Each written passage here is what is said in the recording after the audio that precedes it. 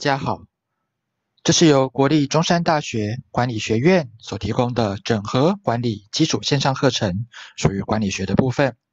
我是王志远，在接下来的一个小时当中，我们将跟各位简单的探讨一下了解行为的这一个主题。在我们前面的课程当中，曾经跟各位介绍过组织还有策略的一些概念，在那个时候，我们主要讨论的重点。包括例如像是组织的一些策略、目标，它的一些政策、还有程序、结构、科技、职权以及指挥链等等的议题。然而，如果用一个冰山来比拟的话，组织本身事实上并不是机器。我们刚所谈到过的部分，都可以算是在冰山顶端的一个地方。这些东西是我们容易看到的，而在组织里面还有很多的部分是隐藏在组织的内部，并不是这么容易由外人所直观的。察觉或者发觉，而这类的部分分别包括，例如像是组织成员的态度、大家的认知、团体的规范、彼此非正式互动的一些方式，还有组织内部冲突的部分。而这些东西就是我们现在要讨论的主题，叫做组织行为的一个部分。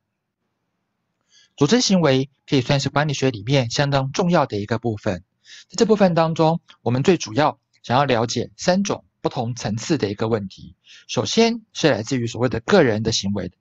其次是所谓的群体行为，而最后则是来自于这些东西在组织里面造成的一个影响。了解组织行为对于管理者会有什么样的好处呢？那是因为透过对于组织行为相关的一个研究，我们可以借助于了解行为对于员工效率和效能的表现，而提高到员工的一个生产力。同时，我们也可以去了解员工的一些旷职行为，去知道在什么样情形之下，他们会该上班却没有上班。除此之外，我们也可以了解到员工他们的一些离职的行为。在此所谓的离职，指的是员工他们自愿或者非自愿的永久离开组织。除此之外，我们也在乎的是来自于，例如像是组织的公民行为，这是一种非正式的规范和要求，就会影响到组织的效能。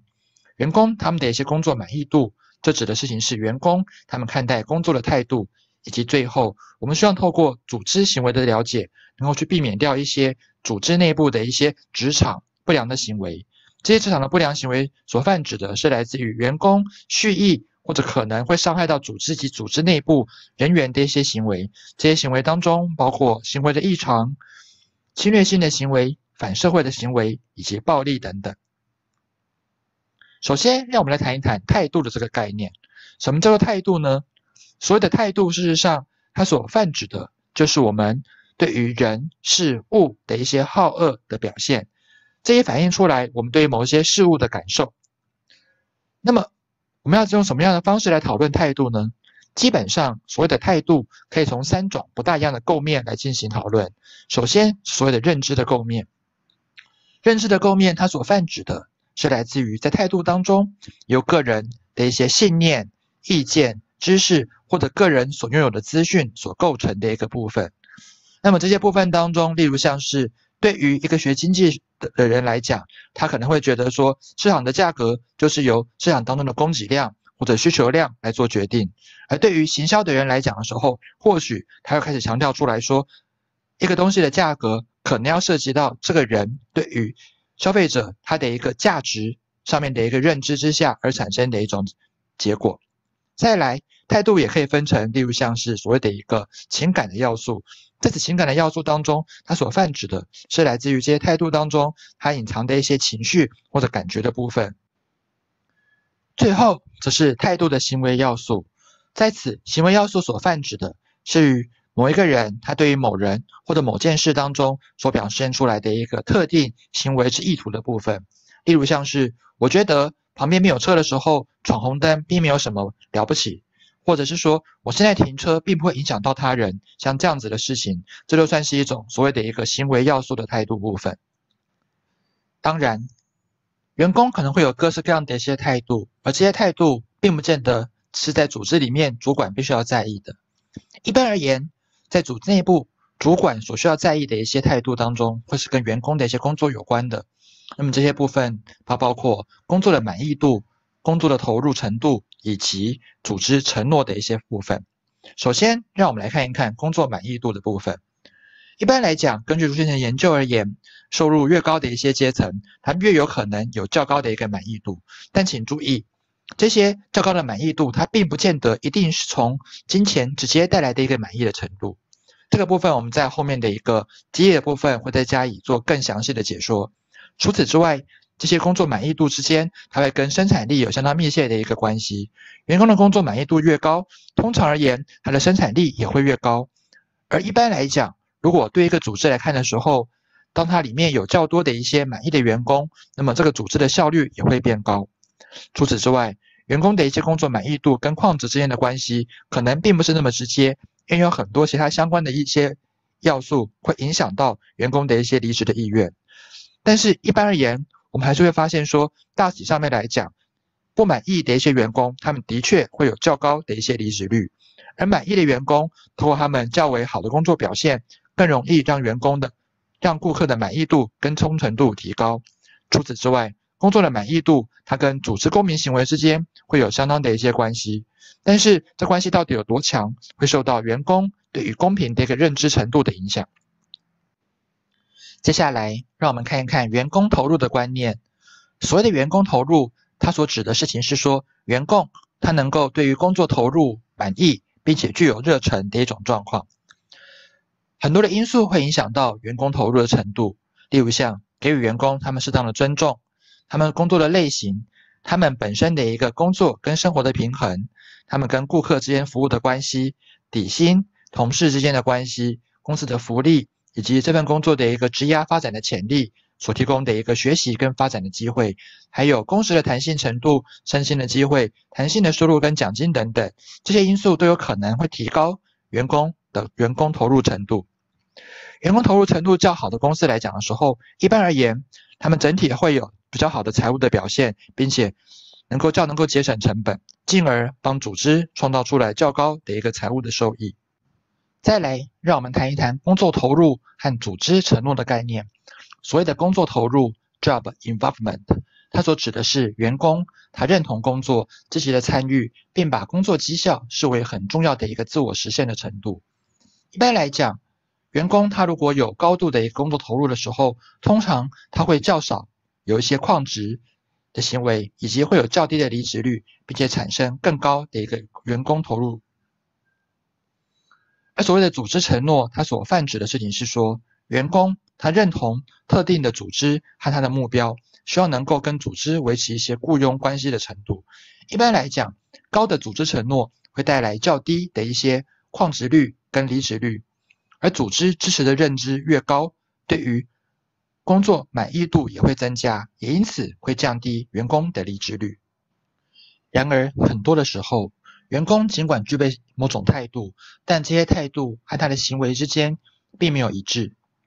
尽管理想当中会认为说，个人他会调节内心一些分歧的想法，跟行为跟态度的一些差异，来让自己呈现出来是一个理性且一致性的人。但是某些的时候，他的态度跟行为之间还是会有不一致的现象。当这种情形之下发生的时候，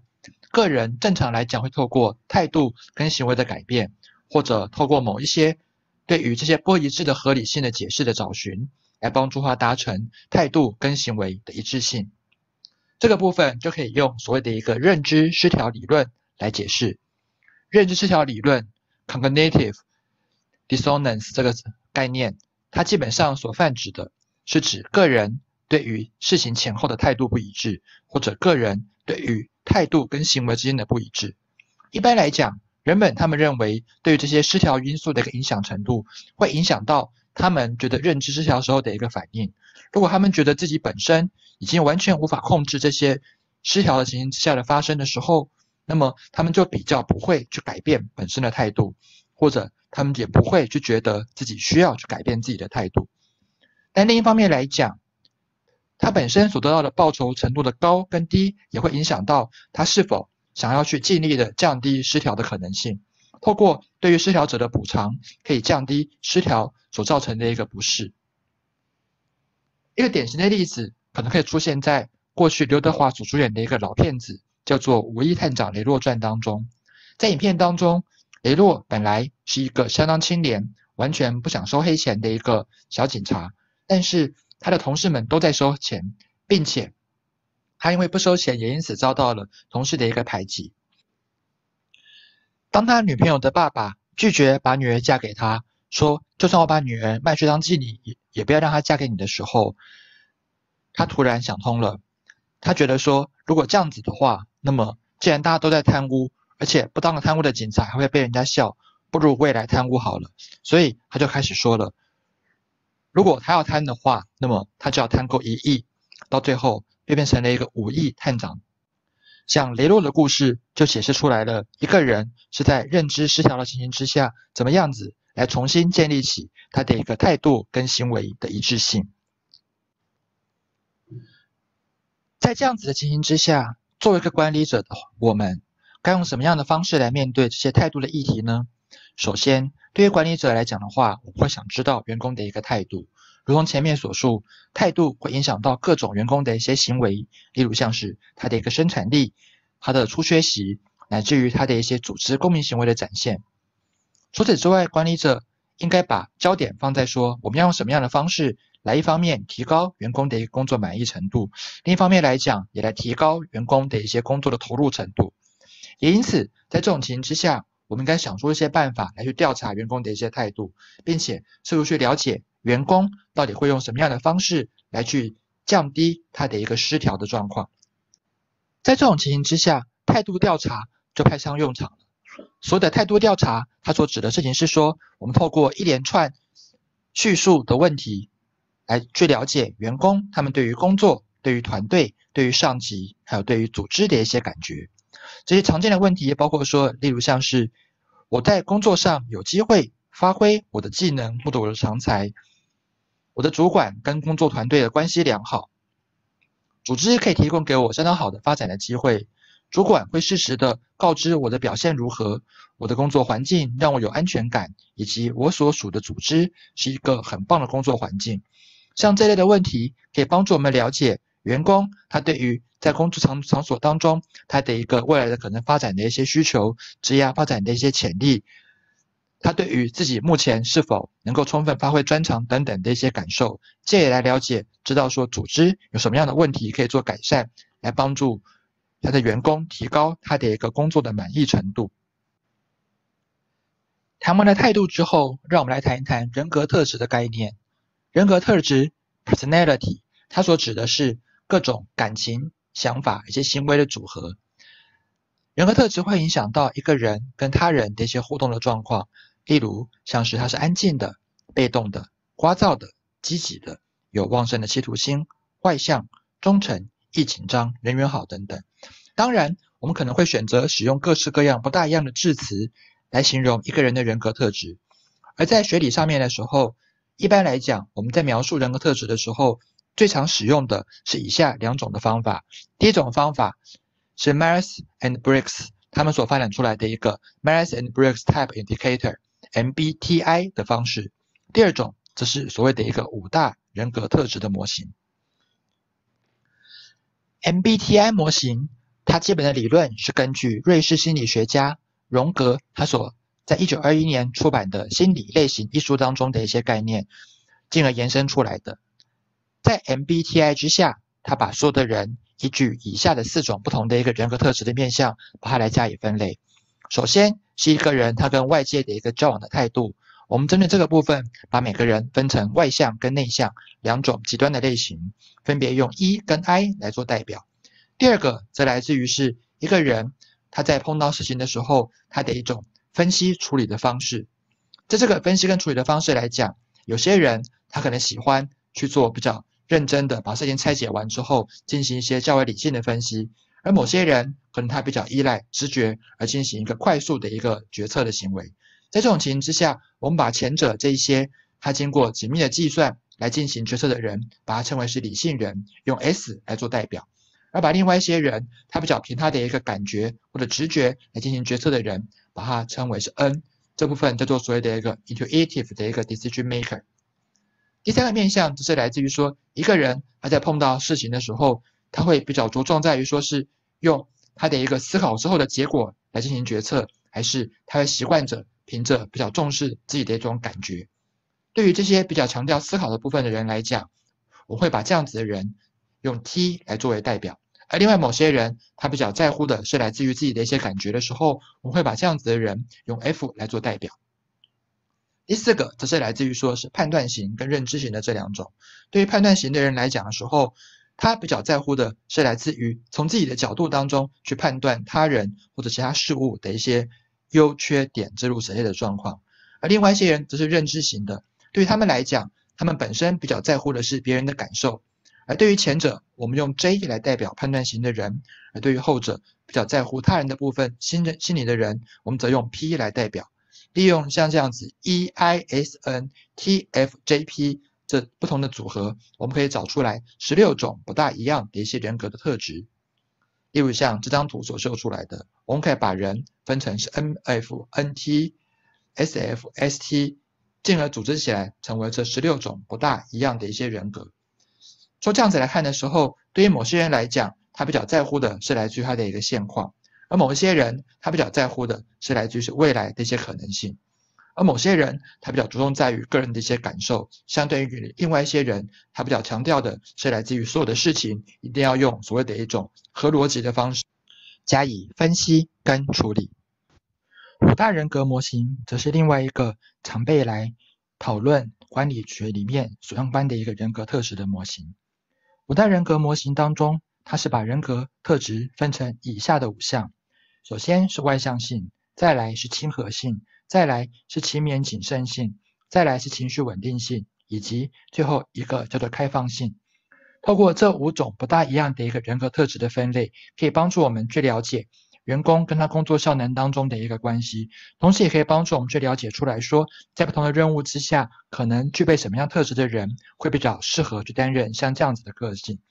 举个例子来讲，例如像假设有一个人，他的个性是外向好动，同时呢，他又非常非常的不具备所谓的一个亲密稳定性。在这种情形之下的时候，在这样子一个呃并不具备亲密审定性的情形之下的时候，如果这个人他来担任一个会计人员的工作的话，很容易会因为他的粗心大意而使得他的工作面对到失败的状况。但反过来说，如果我们今天探讨的，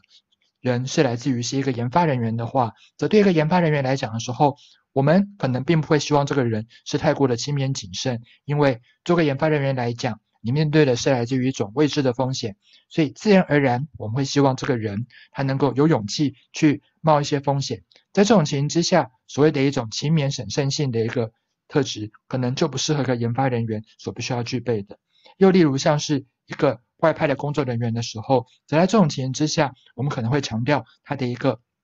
开放性跟情绪的稳定性。一方面，开放性来讲的时候，代表的事情是说，他在面对一个新的不同环境的一个经验之下的时候，他较能够勇敢的去面对像这样子的一种环境。除此之外，他的情绪稳定性也有助于他在面对各种不确定的情形之下的时候，能够始终保持着一个稳定的一个态度来面对这些不大一样的挑战。也因此，五大人格特质在人人力资源管理上面的时候，可以对我们有相当大的一种启发跟运用的可能性。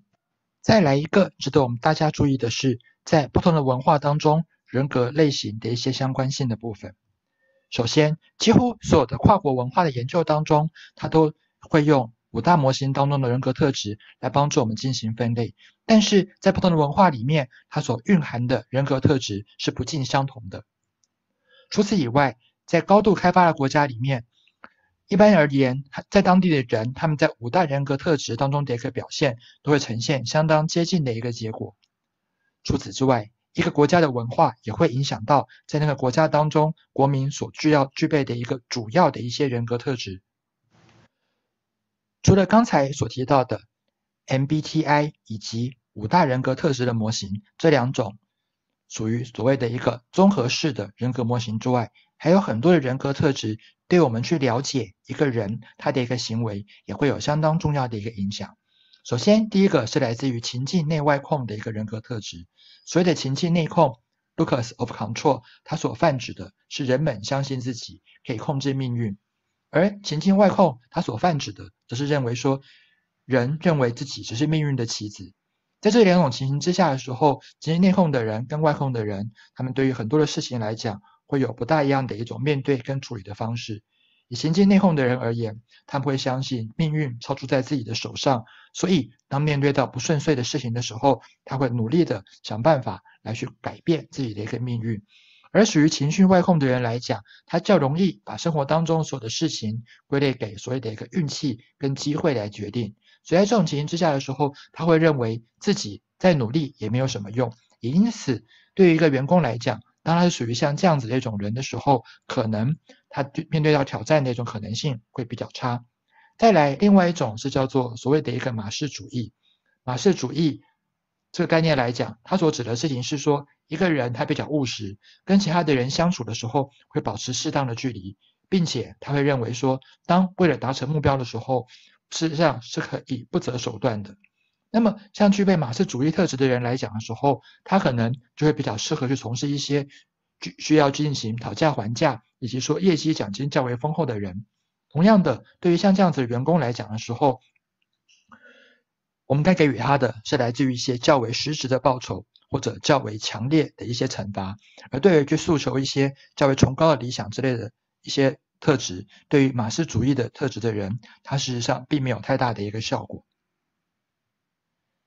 再来，自尊这个人格特质也是相当重要的。所谓的自尊，它所指的事情是说，人们对于他们自身所喜爱跟不喜爱的一个程度。一般来讲，自尊对于一个人他的成功的期望会有一些相直接的关联性。自尊心较强的人，通常会认为说，他们具备成功所需的一些能力跟潜能，也因此。较为比较勇敢去尝试一些风险较高的工作，并且他们也通常来讲，他也愿意去接受一些并不是那么常规的一些工作。自律则是另外一个很有用的一个人格特质。所谓的自律 （self-monitoring），它所指的事情是说，个人他可以调整自己来去适应外界的一些特殊情境的能力。那一般来讲的时候，高度自律的管理者会较具灵活性，也会具备较好的一个升迁的机会。为什么会像这样子呢？那是因为对于较为自律的人来讲，他当他想好决定出来一件事情该怎么进行的时候，他有能力自己控制，来要求自己达到像这样子的状况。例如像我们在念书的时候，很多的人可能会有类似像这样子的情形：明天要考试了，虽然我有很大的一个自尊心，我认为我能力够好，我一定可以把书考好考好。但是当面对到课本的时候，我一开始可能会觉得说。回去之后，我就好好的念书。当我一坐到书桌前的时候，我就会告诉我自己说：“嗯，现在家里好像有点乱，然后把家里整理一下完之后，再来念书吧。”房间整理好之后，我可能再说：“嗯，肚子饿了，那吃饱了再回来念书。”像这种情形之下的时候，因为本身的一个自律性不够，所以他很可能会较为无法的。认真的完成一件事情，所以换言之来讲，自尊跟自律对于员工的一个表现，也都会有直接的一个显著影响。此外，还有所谓的冒险倾向跟 A 型、B 型人格这样子的一个差异。所谓的冒险倾向，它基本上它影响到的是决策时间的一个长短。对于冒险倾向较高的人而言，通常来讲，他的决策时间较快，并且在决策的时候，他较容易。去用直觉，或者是仰赖少部分的一些资料，就快速的来做出一些决策。而对于冒险倾向较低的人而言的时候，他们可能就会需要很长的时间才能够下达决策，并且在决策的过程当中，他会希望自己能够搜集到越多的资讯越好。在这种情形之下，冒险倾向较低的人很有可能会发生一种叫做他面对到所谓的一个决策困难，像这样子一种特质的状况。因为他很难去为自己的一个决定下一个决策。此外，A B 型人格则指的是，您是说一个人他对于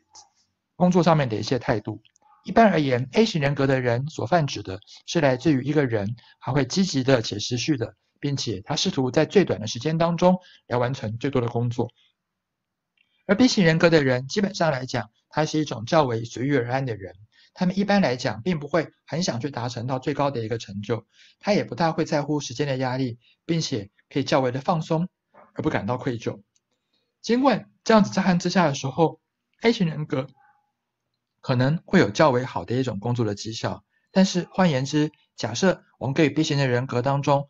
组织的目标跟 B 型人格所追求的事情是一样的时候，在这种情况之下，B 型人格的人可能会因为较能够因为放松的状况。不会产生过大的压力，而产生较好的一种工作的绩效。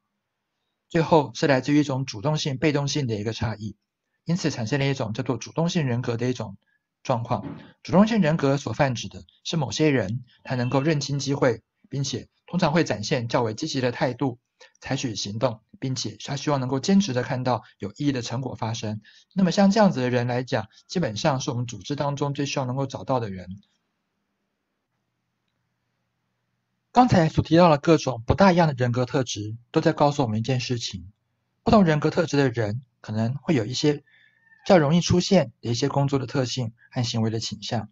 也因此，有一位叫做 Holland 的学者，他就发展出来了一个人格职业配饰的理论。他希望借此能够帮助我们了解人格特质跟职业的一个关系。他的论点是，人格特质跟职业相符的时候。将会出现最高的一个员工的满意度跟最低的一个离职率。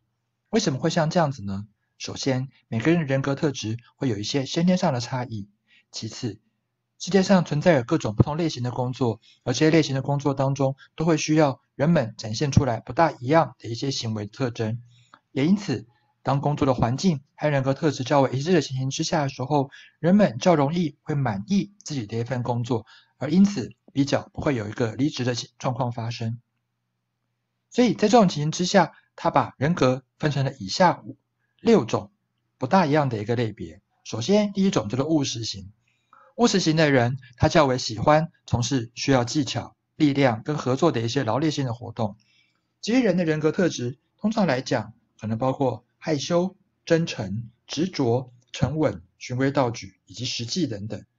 那么常见的一些例子当中，就包括例如像是机械工、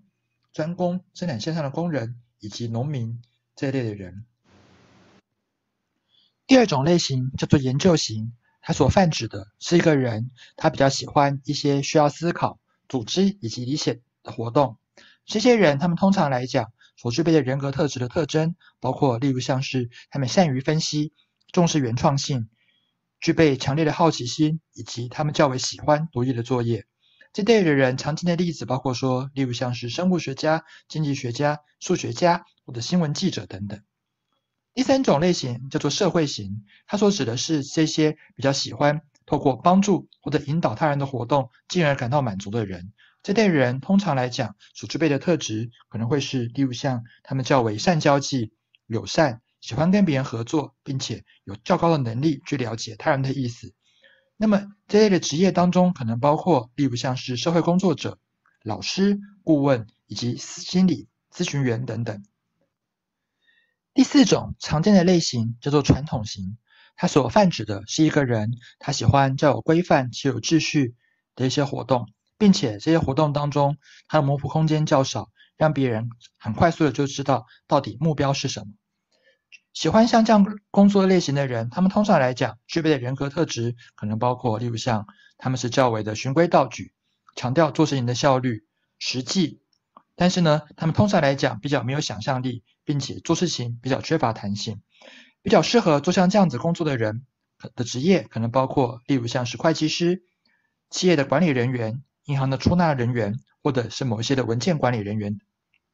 第五种类型是所谓的进取型。进取型的人当中，他们可能比较喜欢用谈话式的方式来去影响到他人，借以取得到一些权利。这些人常具备人格特质，可能包括自信心，他们具备较强的企图心，精力旺盛，并且有较强的一个支配别人的欲望。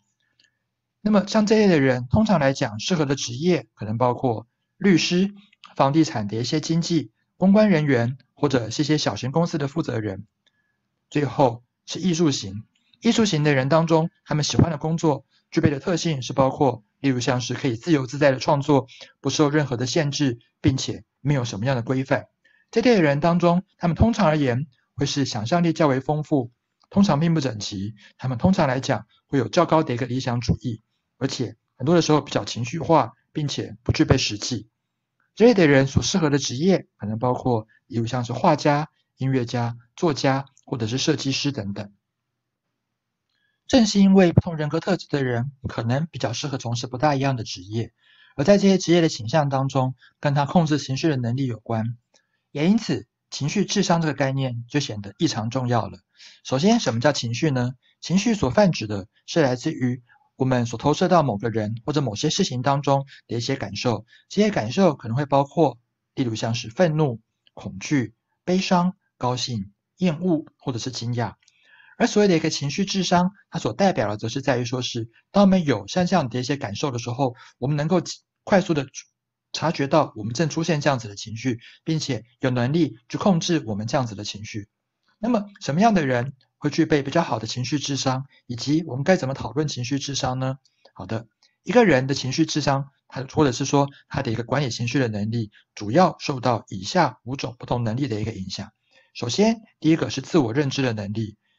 一个人如果可以了解自己目前真正的感受的时候，他会较能够感受到自己的情绪。再来是自我管理的能力。如果一个人他有较好的一种 self management 的能力的话，则在这种情之下，他较有能力去透过自意的方式来管理自己的一些情绪跟冲动。第三个是自我激励的能力。自我激励的能力来讲的时候，一个人如果具备较多较高的一个自我激励的能力，代表的事情是说。当他面对挫折、失败的时候，他需要有能力透过安慰自己的方式来说服自己，要能够坚持到底。第四个是来自于同理心的部分。很多的时候，我们对于某件事事情的一个情绪跟反应，是来自于我们并不了解他人所历历经的处境而造成的。所以在这种情形之下，同理心 （empathy） 这个东西可以较为方便我们去平衡我们的一些情绪。最后是一个社会能力。我们个人的情绪有时候并不是我们自己一个人可以管理到的，跟我们对应到的人，例如像是碰到了一个奥克的时候，奥克的不奥克当奥克他的声音变大的时候，通常来讲，我们自己可能也会忍不住的情绪情绪会变得不好。在这种情形之下，如果我们有能力去安慰这个奥克，去把他的一个愤怒的情绪降低的时候，在此同时，我们自己的一个愤怒的情绪也会逐渐的下降。所以，情绪智商当中最后一个能力就是所谓的一个社会能力 （social skill） 的部分。好，谈完了人格跟情绪的一些问题之后，接下来让我们先休息一下，做一下小测验。请你看看以下这段文字，告诉我这段文字到底在讲什么东西。好，如果对于你而言，你念到的是像这样子的一个答案：According to research at Cambridge University。It doesn't matter what order the letters in the word are. The only permanent thing is that the first and the last letter be in the right place. 好，刚才那段文字，事实上它是字母前后错字，并且用大写的方式来呈现。如果你今天可以快速的能够把像那样子的东西给读清楚的话，代表的事情是说，可能你有较强的一些认知能力。那么，什么叫做认知能力呢？所谓的认知，它所泛指的就是来自于说，人们将感官所得到的一些印象予以组织跟解释，并赋予周遭的环境意涵的一个过程。事实上，在很我们在认知的过程当中，有很多的因素会去影响到我们个人的一些认知。这些因素当中，可以通常来讲，可以把它分成两种因素。第一种是认知的主体跟目标的事物，第二种是来自于认知的时候发生的情境。例如像我们刚所看到那段文字当中，它所呈现的是一些用大写的方式，并且字母排列导致的方式来呈现的时候，对于某些人来讲，他看起来之后完全看不懂，那就是因为我们的目标事物当中本身就是一个我们并不习惯的方法来呈现。让我们再来看看下面这个例子。首先看看左边这张图，你看到了什么东西呢？对，对于某些人来讲。他看到的可能会说，他看到的是一个老妇人；也有的人告诉我们说，他看到是一个年轻小姐。在看到右边这张图的时候，有些人看起来是一个完全没有意义的花纹，也有的人觉得这是一个在马上的一个骑士。像这种情形之下的时候，它所代表的是在同样的一个目标事物之下，每个人因为我们自己的一些观察和分析事情的一个方式，以及我们现在所处的一些心境，就有可能会影响到。我们对于这些东西所解读出来，它的一个特征，有一种理论叫做归因理论 （attribution theory），它所泛指的就是来自于说，想告诉我们说，为什么我们对于某些事特定的行为当中会产生一些不同的解释，并且进而的导致于我们对于这些特定人物当中他们的一些不同的判断。在归因理论之下，他认为说，当我们在观察个体行为的时候，我们会猜测其行为是由内在或者是外在因素所导致的。在这种情形之下的时候，这些因素通常来讲有三种可能的重要的一个构面。第一个是情况的特殊性 （distinctiveness），第二个是团体的共识 （consensus），第三个是个体行为的一致性 （consistency）。那么这是什么意思呢？让我们看看这张表来做说明。当我们观察到一个人的时候，我们首先第一个情形之下，我们就观察一下说。他在其他的情形之下是否有一样的一个作为？如果说有的话，代表的事情是说，他会出现像这样子的动作，基本上跟环境无关，纯粹是因为他自己喜欢想做这样子的事情。如果说有的话，代表的事情是说，他会有不同的行为，是因为环境所造成的，因为他在不同的环境之下会做出不大一样的因素，所以在这种情形之下，这些造成他行为的行为的成因是来自于外部的部分。举个例子来讲，有一个人他在抠他的一个脚趾缝，这个时候我们在问的一件事情是说，为什么他会抠这个脚趾缝呢？如果说他不管是自己在家里面或者在上课的时候都会抠脚趾缝的话，那我们所知道的事情是说，抠脚趾缝这个行为对于他来讲就是一种很常见的行为，是因为他自己的特种的一些嗜好所造成的。而对于某一个人，假设他今天在家的时候会在抠脚趾缝。但在外面的时候，他就会尽量避免掉这样子的行为。尽管他再痒，他也可以忍得住。这代表的事情是说，这个人他事实上他有意味到自己这样子的行为，并且他认为这件事情当中是不大能够在大多数的人面前当中所做的，所以他会关在家里面来做像这样子的事情。再来第二个东西，就叫做所谓的一个在类似的情形之下，是否会从事同样的一个行为。好。那么在这种情形之下的时候，我们可能会说，首先先看看说，另外一个人，例如像某乙好了，他是否在家里也会一样就抠脚，而到外面的时候就不会抠脚？如果他也是的话，所以我们可以说，在不同的场所当中，是不是可以抠脚？对于像这样子的行为，大家是具备高度性共识性的。例如像是对外面的人来讲，因为社会当中认为抠脚是件不好的事情，所以我在外面的时候就不会抠，在家里才会自己抠。如果说这些事情当中，某甲跟某乙这两个人呈现了出来一个不大一样的一个行为的解读的时候，所以我们会说，对于这些事情当中，到底能不能用这样子的行为来进行，它是属于个别差异的部分。第三种是来自于这个人的行为当中是否具备一个一致性。如果这个人不管在哪边的情形之下，只要同样的情境就会做出一样的事情的话，则代表的事情是说，这人的行为本身具备高度的一个一致性。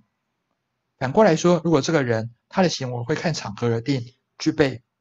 例如像在同一个场合当中，也有可能一下子这样做，下一下子做一种方式的时候，则代表的事情是说，这个人他的行为具备低的一致性，代表的事情是说，这个人通常来讲会做这样子的行为的时候，是把它归咎给在外部的因素之下而产生的。根据归因理论，一般而言，我们在判断他人的行为的时候，我们常常会有低估外在环境的影响。且高估内部或个人因素影响的一种状况，这个就叫做所谓的一种基本归因的一个谬误。例如像是有一个销售的经理，他有时候很容易去把一个部署业绩的下滑，把它当做是这个部署的努力程度不够，可是他可能会忽略掉了，也有可能事实上今天业绩的下滑是来自于对手推出了更好、更便宜的一些产品而造成的。事实上，在很多的时候，我们在归因的时候也会发生很多的错误。例如像我们有可能会发生所谓的自利偏差，它所泛指的事情是说，当我们在判断自己行为的时候，我们通常而言会倾向于把成功归咎成是我们自己的努力，而把失败归咎成是运气不佳或者外部环境的一个部分。让我们来举一个这样子的例子：有一天，我听到了有一个成功的人士，他跟我们分享他成功的秘诀。他说他从小就非常的节省。例如像同学们，他的便当都有鸡腿的时候，它里面只会放一个炒蛋，并且他的同学都在穿着很好的球鞋的时候，他还是把自己的破的球鞋一穿再穿，就这样子很节省的，很节省的这样子一路的从小长到了大，到了三十岁的时候，有一天他的父亲过世了，于是乎他继承了一大笔的遗产，也因此他成为了一个亿万富翁。根据归因理论这样子的讲法，这个人他很有可能会认为自己今天之所以可以成功的致富，是因为自己从小的一个努力节省的结果，而忽略掉了他今天可以努力可以致富的原因之一，是来自于他成功的继承到了一个丰富的遗产，这就是一种所谓的一个资历偏差典型的一个范例。事实上，我们在判断别人的时候，我们通常会利用一些。简易的方法来方便我们快速的找出来说到底是什么事情发生的。例如像是第一种叫做所谓的一个像我 （assume the similar similarity 这样子的概念，它所指的事情是说，当我们在跟别人做沟通跟做判读的时候，我们常会假设对方的想法跟我们会有一样的想法。例如像是假设我是一个非常重视薪资报酬的人的时候，我就会假设我的同事。他今天在这边工作，也是只是为了一个较好的一个薪资，而忽略了事实上他也有可能在这边工作是为了要去接近某一位他所喜欢的人。另外一个常见的一种判断他人的方法是刻板印象 （stereotyping）。这个情形之下，我们通常所根据的是来自于他是来自于某个团体的成员而去判断某个人，是这样子的刻板印象通常是不准确的。举个例子来看，例如像。可能某一些人会说，因为她是女生，女生自然开车开不好，所以她是三宝。可是我们却忽略掉了，事实上很多的男生也一样开不好，同时也有很多的女生搞不好，她会是一个很好的一个赛车手。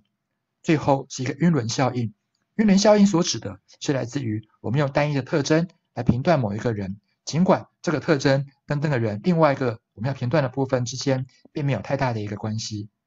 例如像我们今天看到了一个个子长得很高的人，我们就假设这个人他一定很会打篮球，搞不好还会灌篮。可是说不定这个人他一辈子从来没有打过篮球，并且他的行动很缓慢，就是跳不高，只能够勉强的踮起脚来把手伸起来而已。这就是一种所谓的晕轮效应最典型的范例。对于管理者而言，了解刚才这一些事情。它最大的重要性在于说，我们应该要知道说，员工对于很多事情的反应，事实上并不是根据事实，而是根据自己的认知。在实务上面来讲，由于这些认知的曲解是很难避免的，所以管理者应该要更为关注员工对工作及对于公司管理方式的认知。例如，像是当上司可能定义了一个目标的时候，我们要能够清楚的去解读出来，上司这个目标到底所指的意涵是什么。而不会因为我们误解了上司的一些想法，而造成我们在前面当中做出了一些公司本身并不希望我们进行的一些事情。举个例子来讲，例如像有一家公司叫做 Wells Fargo，它是美国的一家大型银行。有一年，他们开始认为说，我们是不是应该要想办法强化我们对于顾客的服务，跟顾客建立起更好的关系。为了做像这样子的事情，有的人就想到了一种方法，那。我们要怎么衡量它呢？干脆我们来衡量一下，如果一个顾客跟我们关系够好的话，他应该应该会买我们更多的东西。所以中层的主管就把客户在我们公司的产品里面所谓的一个交叉销售的一个购买的能力，当做是我们公司是否达到这样子一个目标的选择监控的指标。可是到了更前线的人，他又又开始碰到了另外一种曲解。他们认为说，公司现在所在乎的是来自于我们是不是能够尽量的从顾客的口袋里面掏钱。那么，当我今天拿不到这么多钱的时候，很有可能我会被公司惩罚。所以，就发生了某些前线的一些销售人员开始利用帮公司帮我的顾客保管他们的硬件的时候，来帮顾客购买了他本身原先并没有购买的一些其他的产品，这也来让公司产生一些这个顾客的确有在我们公司买了更多的产品。因此，他对我们公司更加的忠诚，这样子的一种印象。当事情爆发之后，这家公司遭遇了美国重大的一个罚款，并且使它的市值从美国的第三名跌到第四名，这样子的一种命运。也因此，去协助员工了解公司的一个目标和管理方式来讲，是一个相当重要的一件事情。最后，让我们来讨论一下学习的概念。所谓的学习，它所泛指的。是任何因为经验带来的长时间的一些行为的改变。有两种学习的理论可以帮助我们去了解我们为什么一个人会去产生一些行为的改变，以及这些行为的改变是怎么样发生的。它们分别是制约操作的学习论跟社会学习论这两种。首先是操作制约论，操作制约 （operant conditioning） 概念当中，他认为一个人的行为主要是受到他的一个行为结果的一个影响。一个人会重复他所学习到的行行为，是因为这些行为当中，我们不断的受到了一些强化，就是所谓的鼓励，跟所谓的一个非强化或者负强化，以及所谓的一个惩罚而造成的影响。例如像是老师说这门课要考高分，所以我们必须要在考试的时候正确的作答。如果我们做不到的话，那么老师可能会差一分打一下，把我们的屁股打得又红又肿。或者是对于一个靠佣金过活的一个业务员来讲，他的收入的高低在于说他能够多成功的从顾客的手上拿到订单。也因此，为了多拿到一些订单，这些业务员只好能要尽量努力的去得到更好的一些业绩。在这种情形之下，当我的行为并没有得到应有的奖赏的时候，则下次的时候，这种行为再发生的几率就会降低的很多。例如像是老师说，如果这门课当中你考的分数够高的话，你可能会有一些很好的好处。这个时候你努努力的做完了，做完之后，老师告诉你说，你现在所谓得到的好处，就是来自于说，你可以下课的时候比别人多休息一分钟。当这样子的一个奖赏对于学生来讲，他感受到了一种强度不够的时候，则在这种情形之下的时候，原先所有的一种强化，很有可能会反面过来，变成了是一种非强化或者负强化的一种特征。所谓的操作制约论这样子的观点，最早期是来自于针对动物实验，特别是老鼠实验而产生的结果。例如像是我们透过个透过一个铃铛，当那个铃铛在响的时候，如果这个老鼠它跑来一个洞前面的时候，那么这个洞这边就会出现一个所谓的一个花生，老鼠可以把它吃走。当我们多操作几次之后，只要铃铛一响，你就会发现老鼠会自动跑到这个地方来。可是它并不会注意到说，事实上铃响跟这个东西会不会出现在这里是两件没有关系的一个事情。另外一种学习理论则叫做社会学习论，它所泛指的是来自于说我们一个人。很有可能在社会当中，会透过观察别人的一些方式，或者透过自己过往的一些经验来进行学习，以改变我们的行为。在这种情形之下，我们要经历四种不大一样的阶段。首先是所谓的注意阶段，指的是我们注意到有某件事情在发生。其次是所谓的一个记忆阶段，我们可以把这个事情当中发生的一个过程给清楚的记忆下来。再来是重复行为阶段，它所泛指的事情是。我们会去尝试着用我们刚刚所记得的方式来试图解决这个问题。如果在我们重复的行为过程当中，我们得到了一些好处的时候，这种情形之下，所谓的一种增强阶段就会出现了。它会让我们不断的重复这样子的行为，而逐渐的把这样子的行为给记忆下来。这就是所谓的一个社会学习的概念。对于行为的一个介绍，今天就到此为止。谢谢各位。